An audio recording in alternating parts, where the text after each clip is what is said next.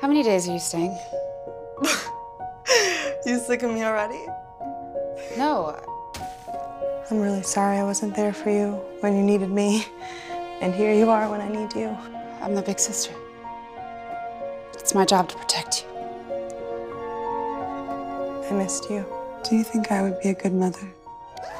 You are going to be a good mother. Thank you, Lord, for this time with my sister. I've been suffering from mild schizophrenia since Abby was born. The cabin helps. Being alone helps. In Jesus' name.